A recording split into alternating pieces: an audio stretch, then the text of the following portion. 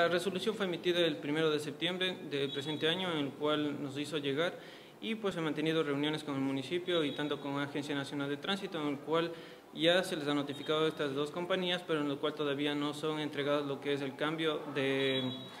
del tema del contrato de no se puede modificar hasta el momento ya que están realizando las gestiones a ANT para poder modificar eso, ese contrato y en cumplimiento ya los recorridos que están dentro de la resolución del municipio. Mientras tanto,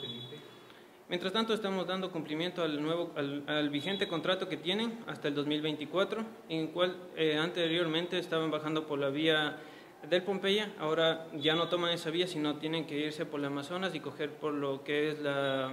salen a la gasolinada del, del Puyo.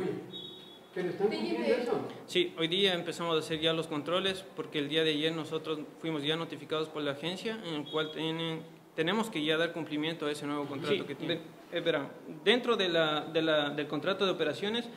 eh, se establecen los recorridos dentro del cantón, por lo cual eso no debía haber estado. Pero nosotros estamos dando ya cumplimiento a esos nuevos recorridos que tienen, que den eh, cumplimiento a ese recorrido que tienen anteriormente, vigente hasta el 2024. El contrato de operaciones es una responsabilidad de la Agencia Nacional de Tránsito para que se pueda cambiar esos recorridos.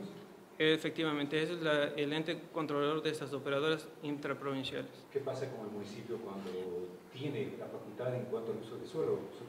Eso es lo que están verificando ANT y municipio, y municipio para ver si hacen una ampliación a la, resolución y puedan emitir sanciones como municipalidad. No, lo único que estamos realizando como ente de control, partes policiales, en el cual ya se va a hacer llegar tanto a ANT y al municipio para que ellos tomen cartas en el asunto, por lo cual no dan cumplimiento a esta nueva Eso el día sábado, día viernes, perdón,